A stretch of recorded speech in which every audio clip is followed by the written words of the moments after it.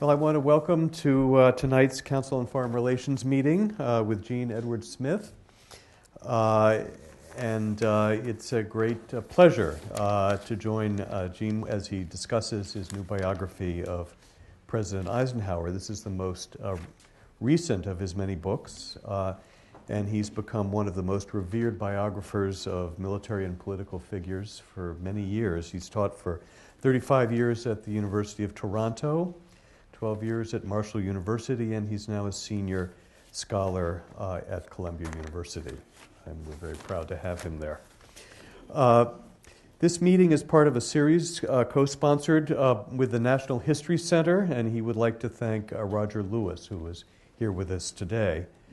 Uh, and I've been asked please to completely turn off, not just put on vibrate, your cell phones Blackberries, uh, and all wireless devices to avoid interference uh, with the, the, sound system. This is a, uh, this is a sentence that comes up almost in every room you're in.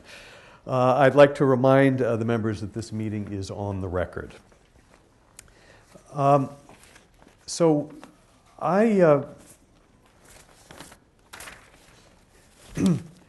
I've read uh, quite a few books uh, about Eisenhower, uh, but uh, none of them, I think, is anywhere near as good as the book that uh, Jean has created uh, over the last few years. Um, and there's so much to say about Eisenhower, what, a, what a life he had. Um, and, but I, I wanted to ask you, Jean, to start, um, if, if you think this is a, a good question. Um, it seems to me uh, that Eisenhower moved uh, remarkably quickly uh, through the ranks of officers, uh, and I wonder why why that was uh, why he was able to do that. Do you? Well, I think the answer is yes and no. He he moved remarkably quickly. Uh, if, if you consider 16 years as major uh, being quick. Uh, uh, he was a major for 16 years. Our promotions in the Army at that time were strictly by seniority. But once World War II came, you're, you're quite right. He, he moved up with, uh, with lightning speed. And, and I think it's, it, it's, it's throughout his career, Marsh, uh, Eisenhower had, um, had sponsors. And at this critical time, it was General Marshall. And uh, Marshall did not know Eisenhower before the war. Uh, but brought him to Washington on the recommendation of, of General Krueger uh, just after Pearl Harbor to be head of the War Plans Division. Uh, and really, he was, he was Marshall's uh, operations officer for the war at that point, from December of 1941 uh, through June of 42. And, and, and Marshall saw what Eisenhower could do and, and sent him to England in 42 uh, to, to head the uh, troops that were there at the time, General Marshall and the War Department believed that the Army could invade France in 1942 in November, uh, which of course was uh, terribly optimistic. And, and presumably Eisenhower was going over simply to be chief of staff to Marshall, who would come over and command the invasion. Uh, they quickly determined, or that they eventually determined, that uh, there was no way in the world that they could cross the channel in November of 1942 President Roosevelt was insistent uh, that they come to grips with the Germans somewhere uh, in 1942, because don't forget, it wasn't the Germans that bombed Pearl Harbor, uh, it was the Japanese. And the president and Mr. Churchill had agreed that they would attack Germany first and defeat Germany first. Uh, but in order to make that palatable here in the United States, they had to come to grips with the Germans. And so North Africa was chosen by default. And um, Marshall wanted no part of commanding the North African invasion. Eisenhower was on the spot. He demonstrated an ability to get along with the British. Um, and so he was, he was picked uh, to command the, the invasion of North Africa. And after that, uh, he simply moved, moved ahead. And of course, became the uh, supreme commander of, of uh, D Day, which. Uh, well, well, yes. Uh, it, it, it, Marshall wanted to be the supreme commander of D Day, I think. And uh, on the way, at, at, the Tehran conference, Marshal Stalin pressed FDR to name a commander uh, for D Day. And um, Roosevelt had taken Eisenhower's measure on the way to Tehran. He spent two days with General Eisenhower in North Africa. Uh, and on the way back, uh, Roosevelt, Roosevelt, dodged giving Stalin an answer at Tehran. And on the way back uh, from Tehran, he asked General Marshall uh, if he wanted to command the invasion. And Marshall, with characteristic self discipline, said, would not express an opinion. He left it entirely to the president's hands, and then President Roosevelt said, then it will be Eisenhower. Eisenhower was, was, was Roosevelt's first choice because he commanded three amphibious landings at the time one in North Africa, well, several in North Africa, one in Sicily, one at Salerno. Uh, he was experienced working with the British, and uh, he was really Roosevelt's first choice. The job was Marshall's if he wanted it, but as I said, with characteristic self discipline, Marshall stepped back, and the president then said it will be Eisenhower, and, and that was it. And uh, Roosevelt uh, actually, um, Roosevelt uh, felt that uh, Marshall was, well, I think there are several ways to, to, argue why Marshall stayed in Washington. One is because uh, Roosevelt wanted him there, uh, but I think he also thought that Marshall wouldn't be as good a a, supreme commander as, as uh, Eisenhower was. Well, well that's right. Uh, Eisenhower was Roosevelt's choice to be supreme commander, and then they they they put a spin on it a bit to save Marshall's face afterwards. Yeah. The president said that he would not be able to sleep with George Marshall out of Washington. That's, so after he, he, uh, they did that. Yeah. So I, you know, one of the things that I uh, I found so interesting uh, about Eisenhower is, uh, I mean, think of, um, of Dulles, for example, who thought uh, atomic bombs would be the best thing to do at almost any, any, uh, at, at, any moment. Uh, and uh, through his uh, period, as, as, even before he was pre- president, um, was opposed to atomic bombs didn't think uh, that they should have been used, uh, even at the, at, at, in 1945. Um, but I think one of the things that I find so uh, remarkable is that he had a very good relationship with Dulles, and yet they have completely different views, uh, particularly about uh, atomic bombs. And well, that, that's right. Just, just, to clarify Eisenhower's position on the atomic bomb, um, at, at, the Potsdam conference, uh, Secretary of War Stimson told Eisenhower about the atomic bomb, and Eisenhower was the only one really at Potsdam who was, a, who was against using it because he believed the Japanese had been defeated and, and he didn't want to introduce uh, uh, nu- nuclear weapons into, uh, in, into, into war. Um, but um, Dulles actually was not Eisenhower's first choice to be Secretary of State. Um, Eisenhower, was the choice of the party. Uh, uh, Eisenhower delegated the selection of his cabinet, as you know, to Lucius Clay and Brownell. And um, uh, Clay and Eisenhower really wanted John J. McCloy to be Secretary of State. But uh, Brownell and Governor Dewey argued that the Republican Party was indebted to John Foster Dulles uh, for his, his for, uh, bringing the party back to, from its isolationist past both in the in the 48 and 44 elections.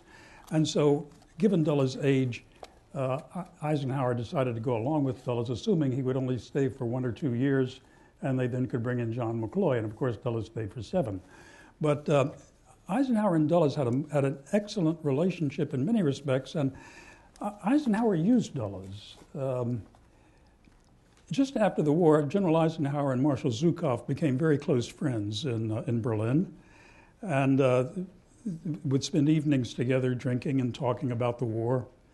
And Eisenhower at one point told Zhukov that he really admired how Zhukov had been able to move his tanks through German minefields without destroying any of the tanks. And, and Zhukov said, well, it's perfectly simple. He sent the infantry through first. and uh,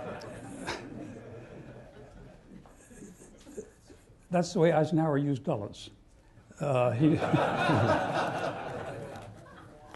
Well, I, I know that Eisenhower was uh, was opposed uh, to using the atomic bombs in 1945, but what about uh, the firebombing in Germany that uh, killed so many civilians The- uh, and The bombing of Hamburg and Dresden and so Hamburg well, and Dresden and um, other parts of Germany as well, it- as well as uh, the Japanese uh, dom- bombing as well. Uh, what was Eisenhower? Uh, Eisenhower was not in that chain of command in Germany. The, the, the, the air marshals uh, conducting the bombing uh, did not really report to Eisenhower. They, they reported to the combined chiefs. And that was, that was out of Eisenhower's, uh, out of, out of Eisenhower's uh, jurisdiction, really. did, did he ever feel as though this was something that uh, shouldn't have happened, or do you? Do you I don't know? think he ever expressed himself on it, uh, but, but he, he continued to try to bring the Air Force under his, under his control, and it was, it was a very difficult uh, uh, uh, jurisdictional problem that, that was never adequately solved, probably. Yeah, yeah. Um, well, I can't. I can't resist uh, asking you something about uh, the time that you were president of Columbia after the war, um, and what kind of a president did you think uh, he was? Um, Eisenhower's- before, before he was president of the United States, he was.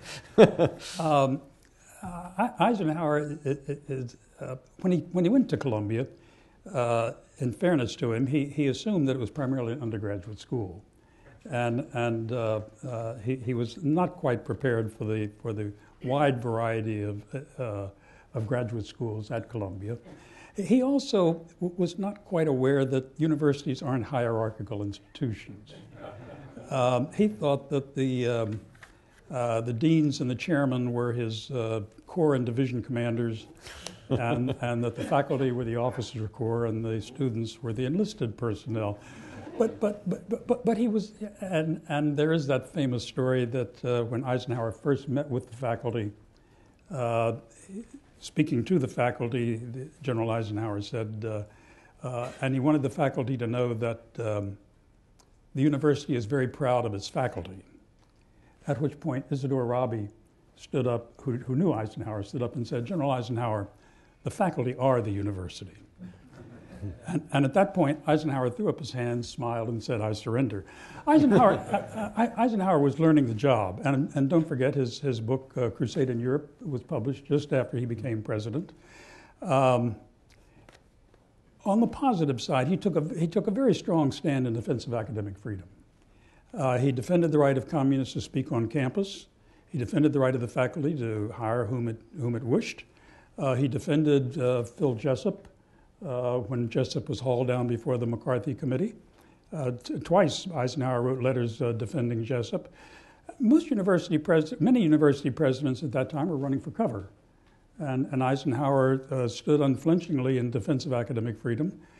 He also balanced Columbia's budget and um, uh, organized uh, the first fund drive in Columbia's history. Nicholas Murray Butler, for the last four or five years, had, had, had run a deficit.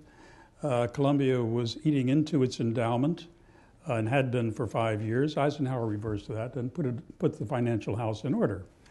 Um, in, in effect, Eisenhower was really learning the job. The, the problem was that on that first Tuesday after the first Monday in November of 1948, Tom Dewey lost the election to Harry Truman. And at that point, the Republican nomination in 1952 was open. If Dewey had won, he would have been renominated.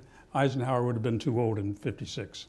Um, at that point, Eisenhower, um, in his uh, crafty way, uh, uh, lost interest in Columbia. Yeah, I think, think, I think that's, that's true. Went off to NATO. And, uh, uh, what was, what, was uh, what kind of relationship was there between Truman and Eisenhower?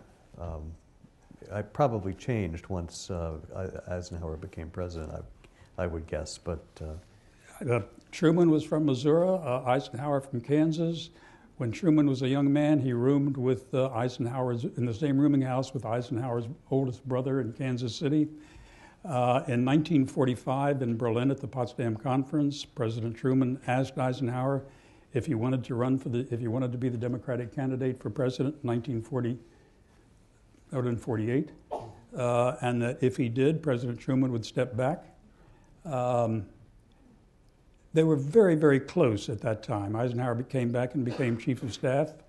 Uh, they were close as well. President Truman urged him to take the Columbia appointment when it was offered. In 1951, he, President Truman sent Eisenhower to Europe to be the first commander of the forces being organized for NATO. They were very close. They were, and indeed, in 1941 and early 1942, uh, Truman again asked Eisenhower if, if, he would like the Democratic nomination, and Eisenhower declined. And then Truman said, Well, if, if you take the Republican nomination, I won't run. But if you don't take, but if Taft is the candidate for the Republican Party, I will run uh, for reelection. So they were very close. They were very close. And indeed, um, I'm going to go a little bit further than that. Um, uh, I have to go back to 1945. um, and, and this is not my way of inter- bringing this story up, but um, Eisenhower was very, had, was very fond of Kay Summersby. Uh, and, and in 1945, uh, Summersby, uh, Eisenhower wrote to General Marshall uh, stating that he wanted to divorce Mamie and marry Kay just after the war was over. General Eisenhower wrote back and said, That's fine, uh, but I'll relieve you of command in Europe if you do. And the, the Eisenhower's mind clarified at that point, and he decided he did, really didn't want to do that. But that letter existed. Um, Garrett Mattingly saw the letter when, when a colleague at, at, at Columbia, late colleague, um, author of the Armada, and um, uh, Mattingly was in naval intelligence at the time. Um, so the, the, the, correspondence existed. The Taft people found out about the correspondence in 1952 when Taft was running against Eisenhower for the nomination. And the Taft people wanted to get, get the letter. Um, Bradley gave it to the president, to President Truman. Truman took physical possession of the letter uh, to keep the Taft people from getting it. So Truman and Eisenhower, to go back to your question, Truman and Eisenhower were, were very close.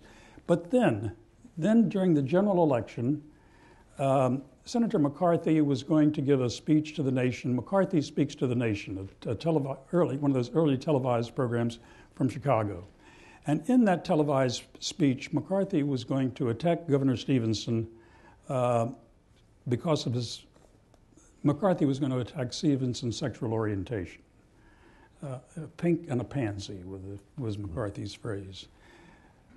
Uh, the White House let it be known that if McCarthy did make that speech, somehow this letter would become, would find its way into the public domain. McCarthy didn't make the speech, the letter didn't find its way into the public domain, but that's when relations between Truman and Eisenhower uh, really broke apart. Yeah. Uh, Eisenhower could not forgive Truman for that. And you may remember that in, at Inauguration Day in 1953, Eisenhower did not get out of the car to go into the White House. It's customary for the president elect to go into the White House to meet the um, outgoing president. Eisenhower refused to do so, and he sat in the car. It's not typical at all of Eisenhower's, Eisenhower's demeanor or behavior, but he was so annoyed at Truman for this, uh, this threat um, that he uh, did not get out of the car.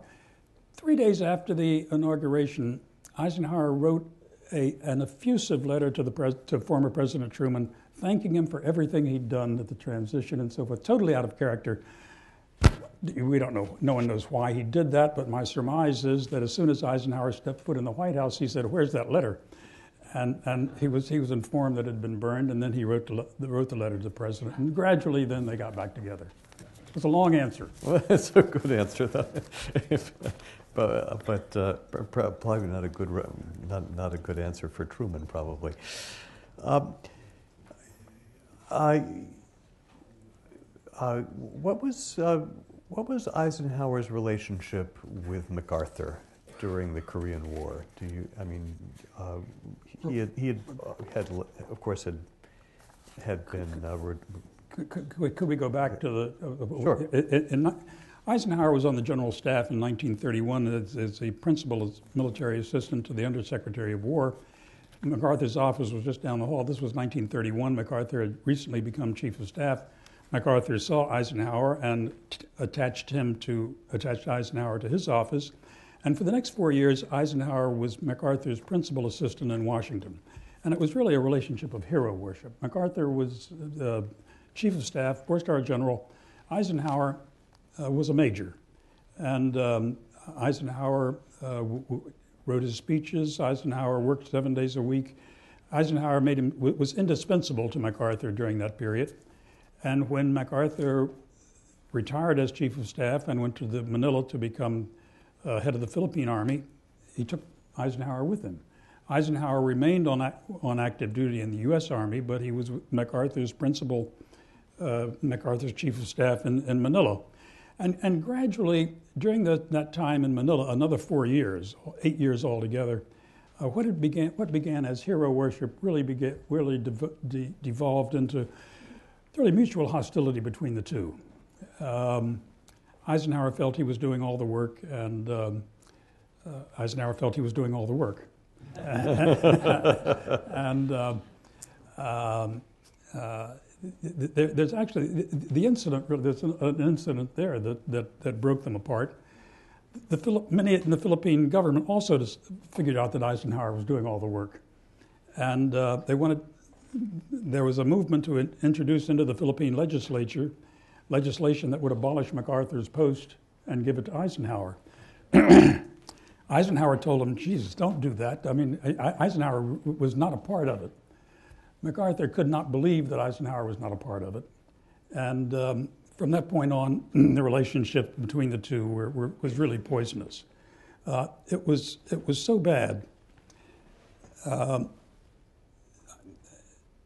that in 1952, you may recall General Eisenhower was in Paris. Uh, Governor Dewey and General Clay and Herbert Brownell were trying to get him to come back to announce that he was a candidate for the Republican nomination. And uh, Eisenhower, was, for some reason, just, just couldn't, couldn't bite the bullet and make that decision. Uh, and in, in, in, late, in late May, the Republican National Committee announced that General MacArthur was going to give the keynote to the Republican convention. Lucius Clay General Clay, who had been in Manila at the time with both of them, told Governor Dewey, write to General Eisenhower and tell him that you and I are afraid that if MacArthur gives the keynote address, he's going to mesmerize the convention and they're going to nominate him by acclamation. Dewey hand wrote the letter. It was hand carried to, Mac- to Eisenhower uh, by pilot in Pan American Airways. That's the way they, they, they communicated in those days. The day after Eisenhower got the letter saying that MacArthur was going to give the keynote and might uh, uh, might take over the convention. might take over yeah. the convention, Eisenhower announced that he was coming back uh, to seek the Republican nomination. So, so th- th- there was hostility between them. Well, I can I can understand that.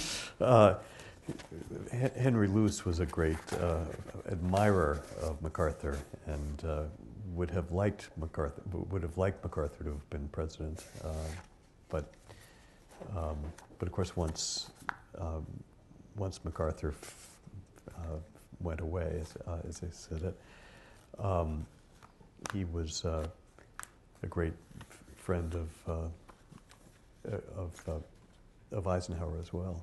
That's right, as, as was his wife. Yeah. So I, I, I wanted uh, I wanted to get uh, the audience into this, but I, I would do we do we should say something a little bit about the presidency. Um, uh, one of the things that I, I find so unusual, and we've talked about this a little bit already, uh, the, the relationship between Dulles and Eisenhower uh, during his presidency. Uh, it's hard to imagine the, uh, at least in foreign relations, uh, they, they, just seem almost the opposite of one another. Uh, but perhaps that's not true.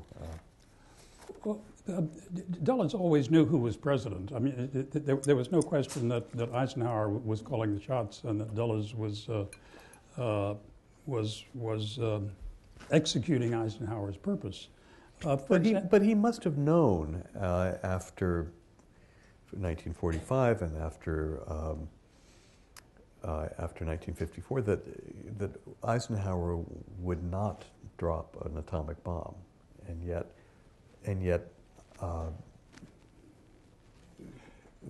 uh, Twice uh, Eisenhower was urged to drop an atomic bomb, uh, once uh, to relieve the French garrison at Dien Bien Phu, and Dulles recommended that he do so, uh, along with other members of the NSC and the Joint Chiefs of Staff.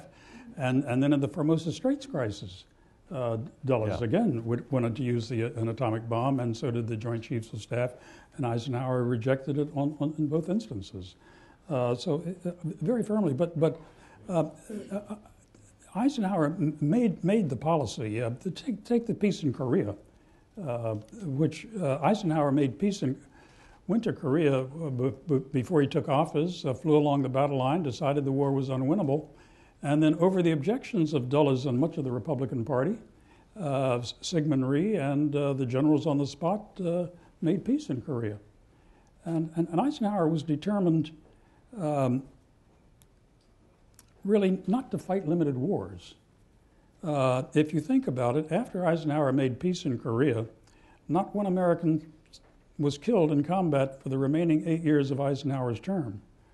Uh, Eisenhower, Eisenhower thought that limited war was a contradiction in terms uh, and, and was absolutely adamant uh, about, um, uh, and in fact, uh, adopted a military policy, the New Look, uh, which um, uh, he, he, he bled, he, he reduced the Army ground forces to such a point where it really was, wa- wasn't quite possible to do so.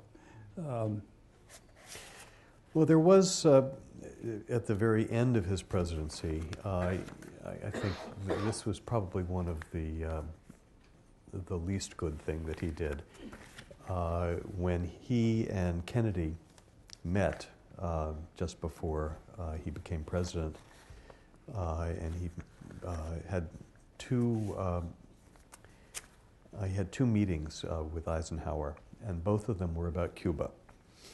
And Eisenhower um, pushed him to go into Cuba, uh, which seems to me odd, given how he's he tried to stay away from these small uh, small wars. But what what about what did Cuba mean to him? Well, let me- let me answer it a little, little differently. Uh, Eisenhower was, was not about to use American forces to go into Cuba. These, these would be, be Cuban forces. But Eisenhower, Eisenhower made mistakes and had blind spots. And one of his blind spots was communist infiltration abroad. Uh, the coup in Iran, which Eisenhower authorized, the coup in Guatemala, which Eisenhower authorized, and Cuba was just the third one in, in that row. Yeah, yeah. Uh, th- this was a blind spot of Eisenhower's, and um, uh, he deferred uh, excessively to the CIA uh, on those three, and uh, and and that's uh, that's a black mark against his administration, clearly. Yeah. Well, maybe we should uh, open this up to the audience. And um, uh, yes, uh, are there microphones for? Uh, yes. So, yes. Uh, yes, I'm Marlene Sanders from uh, NYU now. Um, Eisenhower sent advisors to Vietnam, and he is generally blamed for our initial in, uh, involvement in, in Vietnam. What was his feeling about that part of the world, and did he expect to, to lead to a full blown war? Um, as I as I indicated earlier, Eisenhower really was was not about to send American ground troops anywhere. Observers were observers, and there, and there were very few in the Eisenhower administration. Uh, it was it was President Kennedy who proceeded uh, to do that and, and to expand it, and then Kennedy and Johnson. Um, Eisenhower was not about to become involved in limited war. I, I can't say that frequently enough. Um, when, when Henry Kissinger's book, uh, Nuclear Weapons and Foreign Policy, came out in 1957, Eisenhower said this is a formula for, for uh, a, an armed society that's uh, prepared to uh, fight everywhere uh, at, at, at, at any time. Um, he, he, was, he was, Eisenhower believed that if the United States was going to go to war, it was going to be because national survival was at stake, not for reasons of national security, but national survival. And then he would do so with nuclear weapons if that were the case. And of course, uh, Evan Thomas has a, has a book recently out, right. uh, uh, Ike's Bluff. Uh, th- th- it's, it's an unfortunate title, I think, but, but it's, it's, that was Eisenhower's view. He, he was not going to be invoke U.S. Uh, deploy U.S. ground forces uh, in any type of military situation. And when he did send troops to Lebanon, uh, he sent 30,000 troops uh, he, with a massive force and, and simply kept them on the beach and did not go in, in because it was simply a show of force. Uh, he did that, uh, but, but uh, he, re- he resisted uh, any effort uh, t- to move ashore. Yes. Yossi Siegel, I, I was wondering if you could tell us a little bit about his relationship with Richard Nixon. He famously said late uh, in his term that when he was asked about Nixon, he said, "Give me a day or two or something to that effect to think about something good he did for the administration." But could you tell us uh, about the relationship between the two of them? When Eisenhower received the nomination in 1952 at Chicago, now th- th- th- this was back. It's, it's difficult to remember that this was a back at a time when conventions actually had votes and nominated candidates.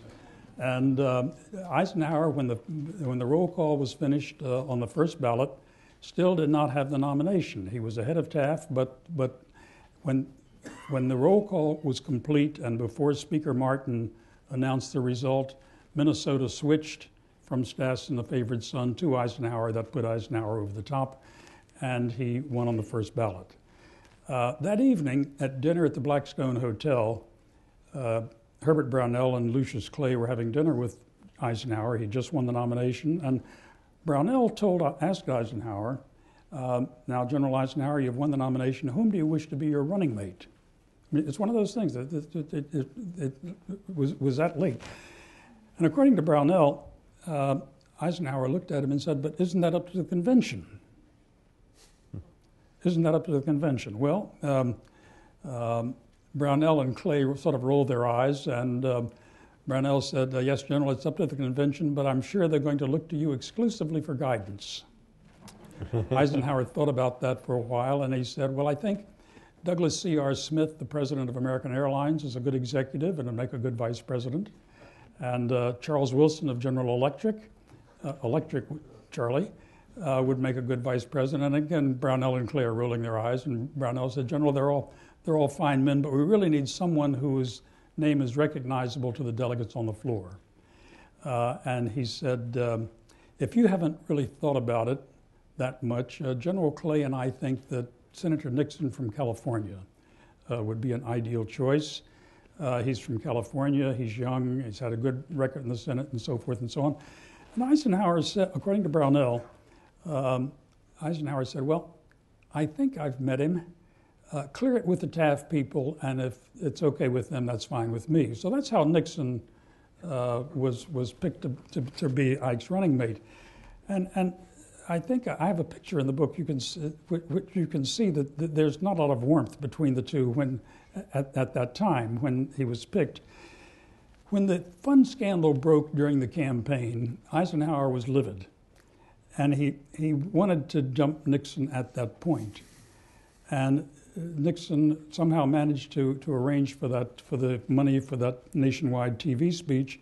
Just before the speech, Governor Dewey told, called Nixon and told him they wanted him to step down from the ticket. And so when Eisenhower was watching the speech, Nixon's televised speech, um, he thought that Nixon at the end was going to take himself off the ticket. And as you know, Nixon did not. He said right to the Republican National Committee and so forth. Eisenhower was livid at that point. And the relations between the two never really became close. Um, Eisenhower, uh, in his way of maneuvering, tried to find someone to run in 56, tried to get Nixon to step down to become Secretary of Defense, um, did his best, but, but Nixon uh, uh, had, had, had great stick to itiveness, if you want. And um, so I think that Eisenhower's comment in the press conference is probably fairly typical. Uh, Nixon was not involved in, in making any policy, major policy decisions. Well, for those of you who, uh, who are Nixon watchers, uh, or were anyway, uh, there's a play off Broadway to, now called Checkers, uh, which is about the uh, um, which is about the, the, the, the speech that kept him alive on, on the uh, ticket. So, uh, yes, in the back. Play, the play is a great play. Um, and in that play, uh, I'm sorry, my name is Andrew Gunlock from Arnold Ness Pleasure. In that play, it's perceived, and maybe this is just theater, but here's the question that uh, Ike is actually not very good at firing people. And Nixon put himself in a situation where he said to Dewey, I'm not firing myself, you fire me. And Ike was unable to do that. Of course, the letters coming into the Republican uh, convention were in favor of Nixon, but is that a characteristic of Ike that is actually true? He was not good at firing people?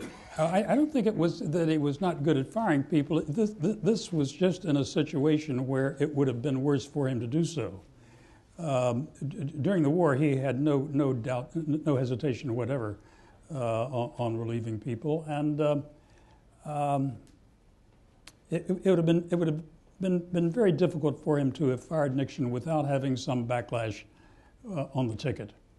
Uh, I think Eisenhower was always cognizant of, of um, which would be the most advantageous position to take, and I and I believe that he felt that it was uh, it would it would have been it would have been best for Nixon to take himself off, but it would have been very awkward for him to have to have fired Nixon.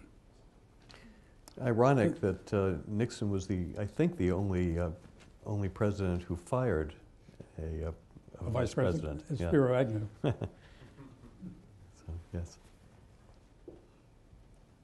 Tom Schick, American Express Company. Um, one of the black marks uh, on the Eisenhower administration, at least in some quarters, was the way they let down the Hungarian people in 1956. Um, uh, many felt, uh, uh, many in the captive nations, what were then called captive nations, felt encouraged uh, to rebel against uh, communist control. Uh, Dulles' policy of rollback certainly suggested that this was a legitimate aspiration of those people. And ultimately, of course, and elements in the CIA certainly encouraged them. And of course, ultimately, uh, uh, the no assistance was forthcoming and, and, the Hungarians felt betrayed. Is that a fair uh, assessment uh, uh, of the Eisenhower administrations in this well, respect? It's certainly a fair assessment that, that the uh, Voice of America and Radio Free Europe uh, and, and, the CIA encouraged. And Eisenhower was under great pressure to, to uh, send weapons to the rebels at the time. Clare Boothe Luce, uh, in particular, uh, uh, was vehement that Eisenhower should, re- should do so. Two things. Eisenhower, uh, when he met with the National Security Council and this issue was discussed, he said, Look at the map. Look at the map. Hungary is, is surrounded by either Soviet or neutral countries uh, there's no way in the world uh, that, that, that we can help them. And also, this was at the time of the Suez Crisis.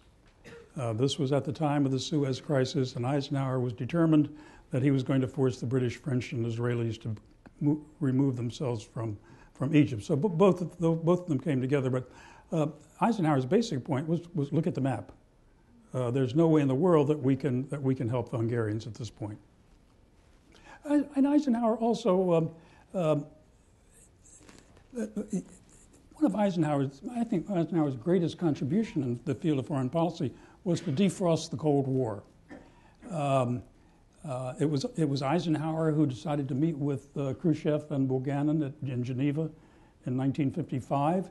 Uh, the spirit of Geneva, uh, this sort of uh, called a halt to, to the Korean War and the Berlin blockade, which had exacerbated relations with the Soviet Union. Eisenhower was interested in, in restoring those, and uh, I think that also uh, uh, uh played a part in, in, the Hungarian crisis. But, but we don't realize that, with, that, that the spirit of Geneva, me- meeting with Khrushchev at the time, and then inviting Khrushchev here to the United States in 1959, uh, these were very important moments in defrosting the Cold War, and Eisenhower really took, a, took the lead in that.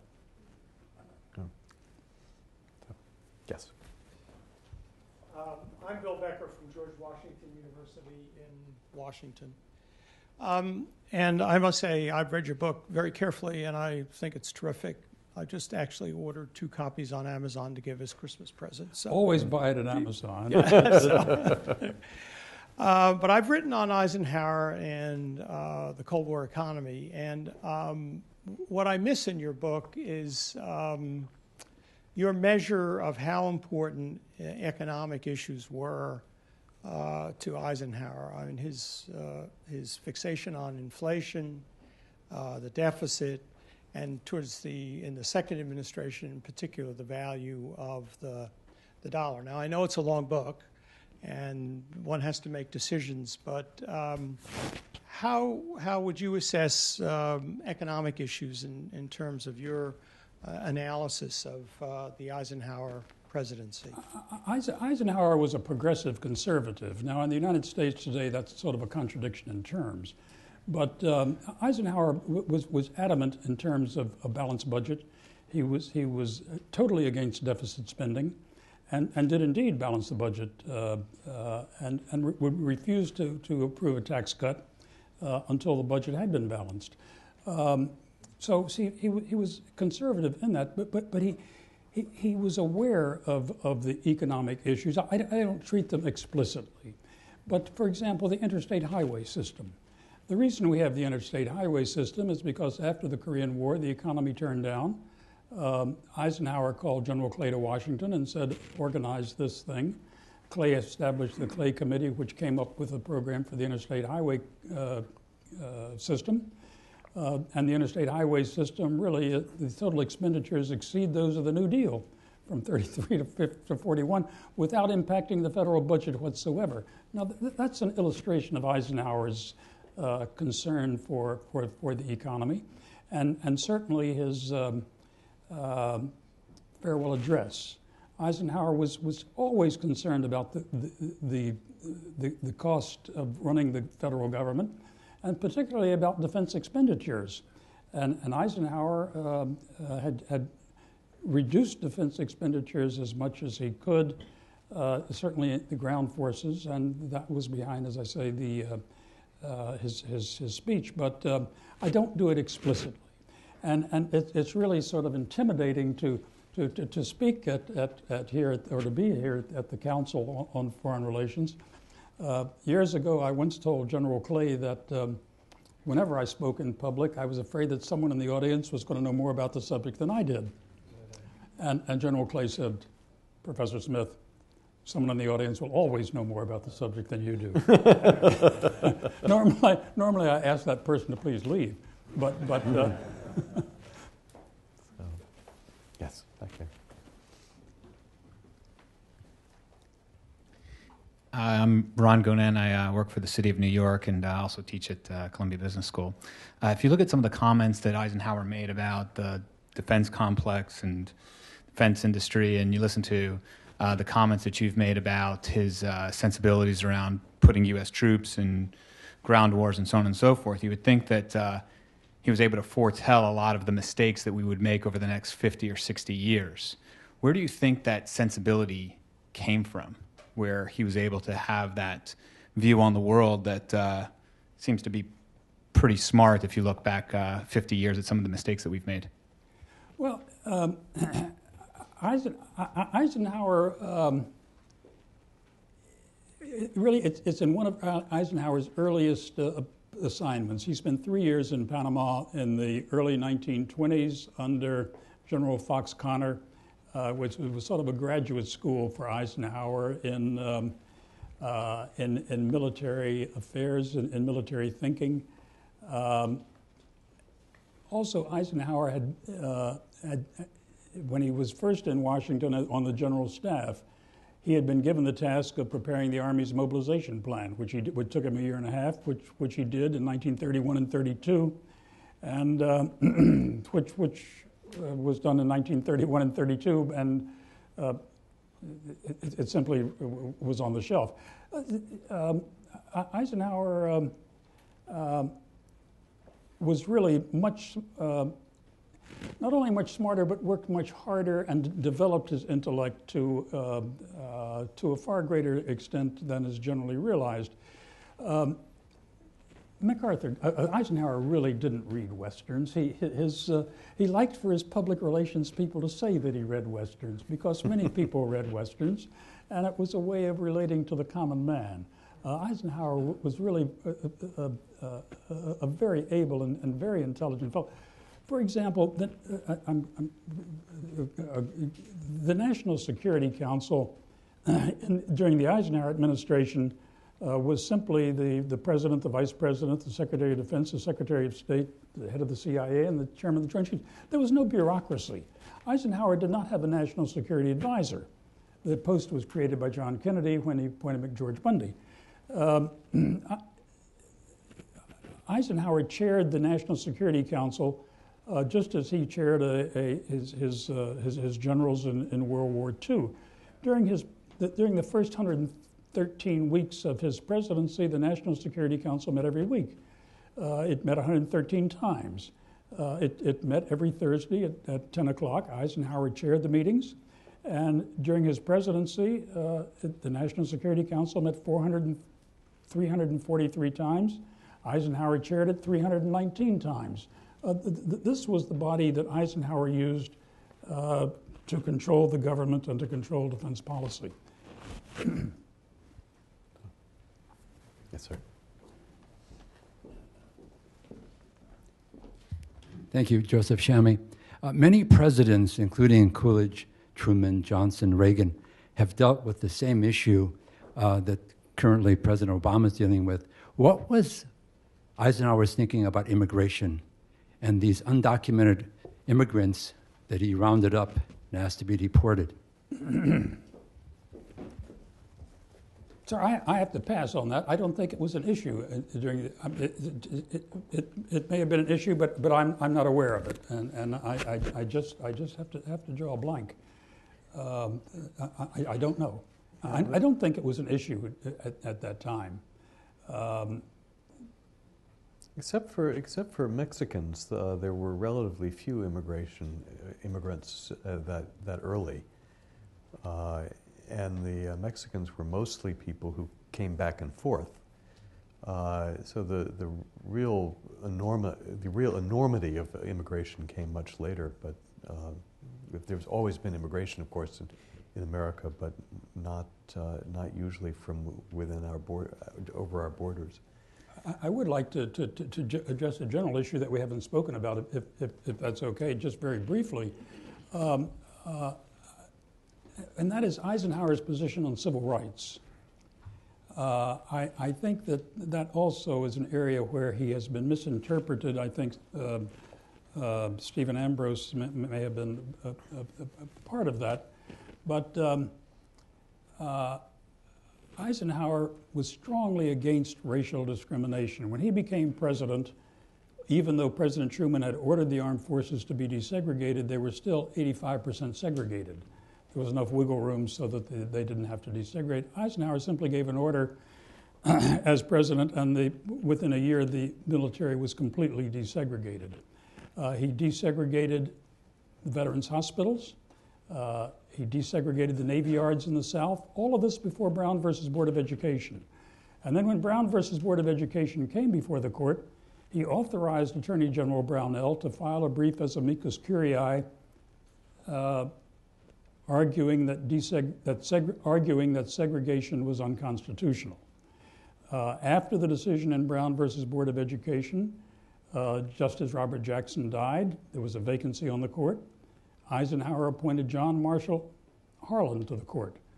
Uh, John Marshall Harlan is the grandson of the great Justice John Marshall Harlan, who was the only dissenter in Plessy Ferguson, the, the, the segregation case in 1896 appointing John Marshall Harlan to the court sent, clearly sent a message to the South uh, of where Eisenhower stood. Uh, and then when uh, at, at, Central, when the, the, difficulty arose at, at Central High School uh, in Little Rock, Eisenhower did not send uh, federal marshals. He did not nationalize the, the Arkansas National Guard. He sent the 101st Airborne Division to Little Rock and I think that by doing so, Eisenhower made it quite clear to the South, quite clear to segregationists at the South, that desegregation was the law of the land and that he was going to enforce it. So I think that it, he did not stress the virtues of integration as Lyndon Johnson and John Kennedy did. He stressed that this was the law of the land and he was going to enforce it because I believe that he felt that that would make it easier for the South to swallow. Uh, but I simply, I simply would, wanted to clarify I, Ike on segregation. Sorry. Yes. Thank you. Uh, Ron Schell. Could we go back to Nixon and Eisenhower a minute? Since uh, Eisenhower wasn't very fond of Nixon, obviously, when it came time for a nomination for a new presidential candidate for the Republican Party, he must have been opposed. Did he take any steps to try to block Nixon? And if he didn't, since he had sort of this bipartisan approach, and at one point Truman would have been happy to have him be the nominee, do you, do you think uh, he could have actually been supportive of Kennedy if necessary? Was he really that concerned about a Republican being Oh. elected? Oh, oh, oh, no, no. Uh, uh, Eisenhower fished around, uh, let me use that, uh, before the, uh, uh, during his last year with other people to see if they would be interested in running. But, but, but he, he, would, he would never have, have, have gone out and taken a public position like that to block Nixon. And, and, and he, he, he didn't. He didn't detest Nixon. He didn't think Nixon was absolutely incompetent. He, he thought that there might be better people, but he couldn't get those better people to, to run. No one really wanted to take on uh, take on Nixon.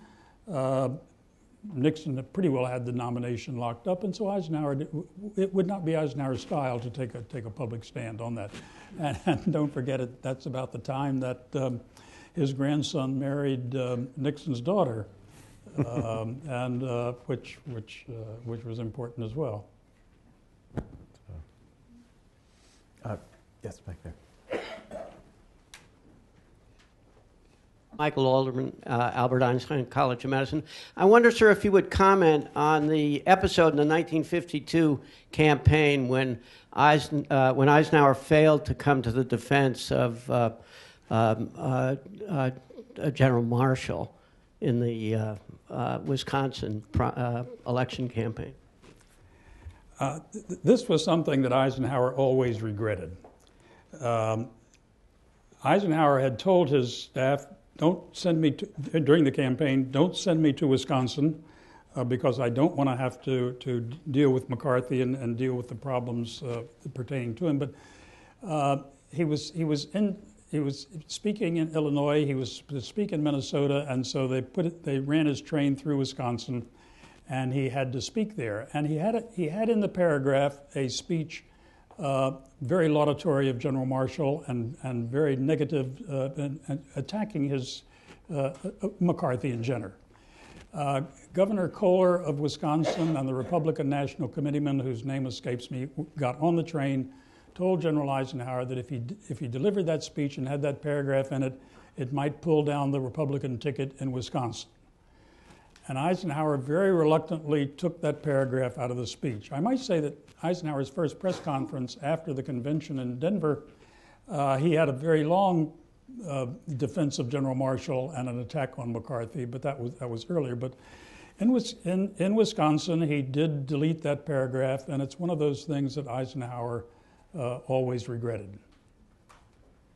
General Marshall, by the way, d- didn't really take it pers- uh, d- d- didn't uh, didn't press it. Uh, General Marshall had been in Washington for ten years and know, knew how these things worked, and so he, he didn't he didn't hold it against Eisenhower.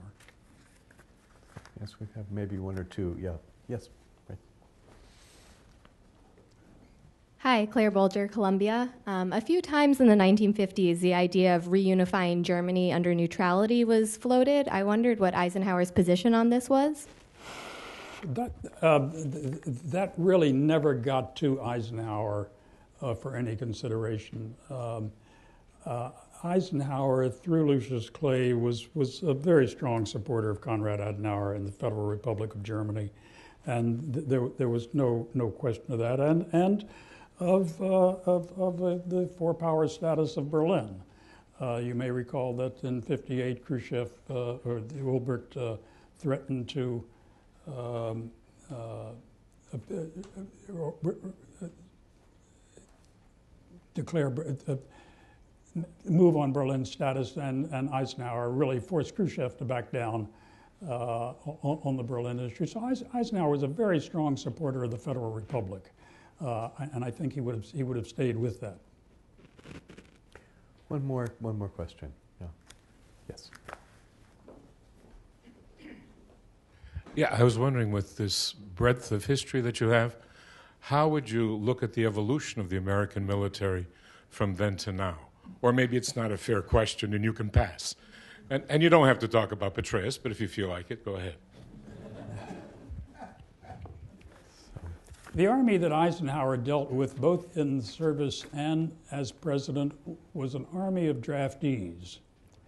Uh, we have gone to a professional army, and uh, that has made an enormous amount of difference. Uh, an, an, army of draftees, um, particularly if there are no college deferments, uh, it's everyone's son or daughter who is in there, uh, which is a terrible restraining influence uh, on the use of those troops. Uh, when you have a professional army, it's a little like Madeleine Albright said at a meeting of the National Security Council if you have this wonderful army, why don't you use it? Um, and, and th- that was what Eisenhower wanted to avoid. Uh, he wanted to avoid that tendency to, to use the, the troops. And uh, uh, I, I, believe that, that the, the most significant difference between the military then and now is the fact that we have, do no, no longer have a draftee army. Uh, we have a professional army, and uh, that, that, that's a watershed difference. Well, it's, it's been a great pleasure uh, to sit with you, and uh, I'm sure all of us are uh, glad to have heard from uh, Professor Smith, uh, who knows so much about uh, so many things that he's written about. But his book on Eisenhower, I think, is a, is a tremendous success. And those of you who think that Eisenhower was a kind of weak and not very, not very interesting president, if, you, if, you see, if you read this book, you'll, I think, feel differently. Uh, so thank you all for coming. Uh, thank you.